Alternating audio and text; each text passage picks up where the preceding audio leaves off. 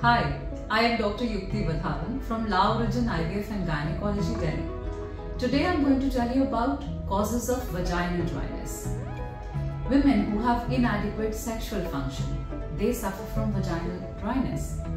Or women who have low estrogen like post-childbirth, menopause or who are taking OC pills, they also have dry vagina. In medical diseases like diabetes mellitus or autoimmune diseases like Sjogren's syndrome.